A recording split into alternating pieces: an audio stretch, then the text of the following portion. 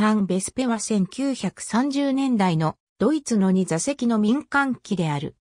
デルタ翼で胴体の前後にタンデムにエンジンとプロペラを配置した。設計は RHN ロッシッテンゲゼルシャフトのアレクサンダー・リピッシュが行い、フィーゼラー飛行機が製作した。飛行試験で操縦性がひどく悪く、開発は中止された。ドレスデンのタバコ会社のハウスベルクマンがヨーロッパでの宣伝飛行のために変わった外観と性能の飛行機を求めたことから開発が始められた。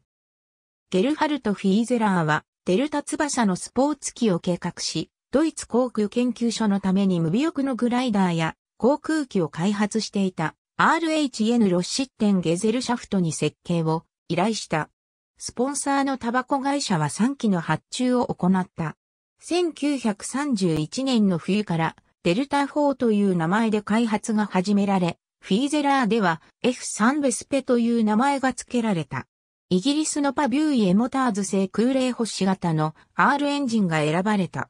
1932年5月にカッセルバルダウ飛行場で初飛行の準備が行われた。ゲルハルト・フィーゼラーは自らテストパイロットを務めたが、タキシングの後、離陸しようとすると、横方向の挙動が制御不能となり、機体は破損した。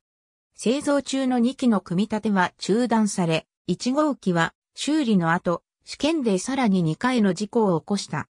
主翼を拡大するなどの改造が行われたが、フィーゼラーは普通のパイロットでは操縦できないと結論し、中立的な意見を求めるため、ドイツ航空研究所のパイロットに試験を依頼したところ、その評価も否定的なものであったため、フィーゼラーは計画を中止した。